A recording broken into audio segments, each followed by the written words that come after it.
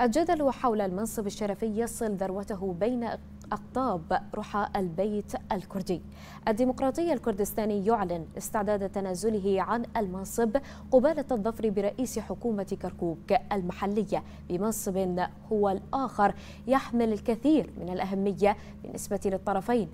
ما أعاد مرحلة الجدل إلى بدايتها. ما زال الجليد هو سيد الموقف في أراضي شمال العراق. مباحثات ومبادرات لم تستطع أن تفتح الطريق أمام اتفاق يحسم الجدل ويخفف من وطأة الضغط على رئة العملية السياسية في كردستان. محافظ كركوك مقابل رئاسة الجمهورية معادلة غريبة لمن ينظر للمشهد من بعيد لكنها مفهومة جدا للقريب. هذه المعادلة طرح حديها الديمقراطي الكردستاني على أمل أن يتم استخراج نتائجها من قبل الاتحاد الوطني.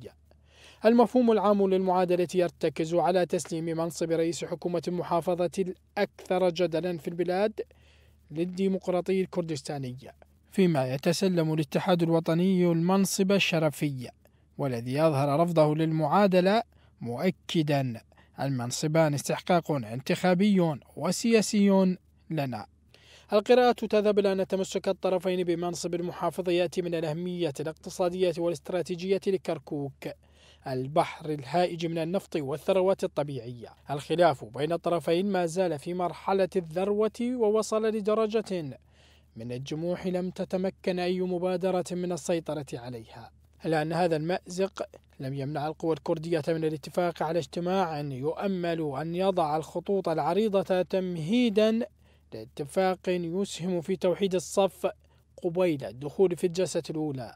وتكرار سيناريو الجدل الكردي الذي حصل في العام 2018 وما بين القراءات والتخمينات والواقع على الأرض تتبادر الكثير من التساؤلات حول آلية حل الخلاف بين القوى الكردستانية وهل ستستطيع تجاوز محنتها الجدلية؟